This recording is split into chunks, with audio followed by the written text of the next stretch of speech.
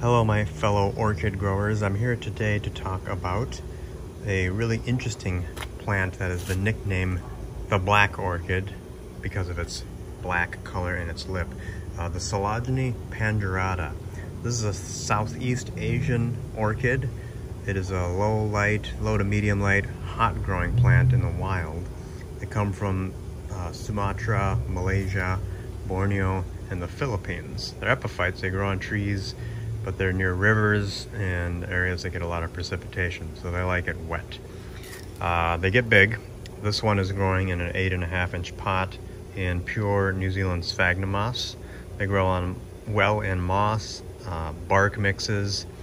Uh, the containers should be large, or wide. They can even be bulb pans. And a lot of people grow them in uh, large baskets as long as there's adequate uh, moisture provided.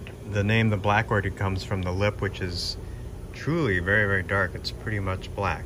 Typically on orchids, black is a heavily concentrated pigment of uh, red. But you can see in this plant, it's, it's very profound.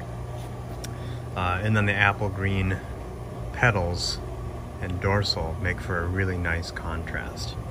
It's got a little bit of fragrance to it. Uh, great plant to add your collection if you've got the room. They can get up to 10 inch pots easily and larger, but you can always divide them. And that's what we've done with these plants. They're divisions from larger plants we've had in the past. So, fairly easy to grow. Great additional plant to your collection if you've got the room. Pretty much can grow as easy as a standard Phalaenopsis.